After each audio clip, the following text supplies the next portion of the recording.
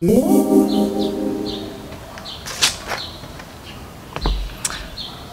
sambayanang Pilipinas ay naghahanap pa din kung sino ang papalit na bagong Darna.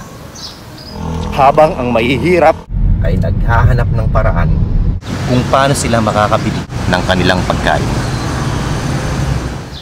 Habang maraming mahihirap ang namomroblema sa pagtaas ng presyo ng mga bilihin. Pagtaas ng presyo ng gasolina, sa pagtaas ng presyo ng mga basic needs kagaya ng noodles at delata. Pero gayon pa man, meron pa rin namang mga bagay na pababa. So kagaya ng mga farm gate price ng mga bigas galing sa mga sugatan nating mga magsasaka.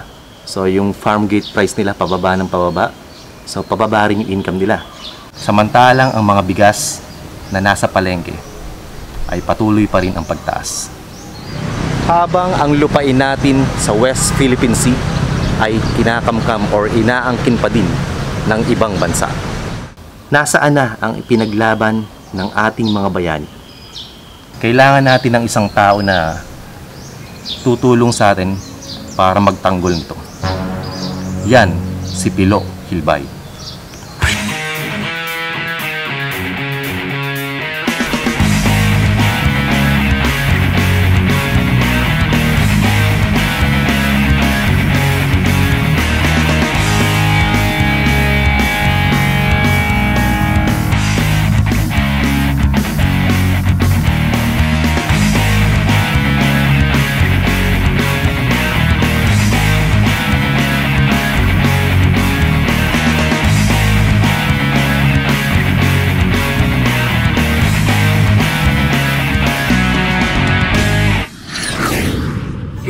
Hilbay.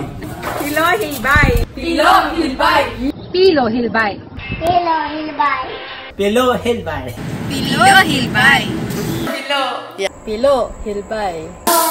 Pilo Hilbay. Hilbay tayo. Hilbay. Ah, sa Senado.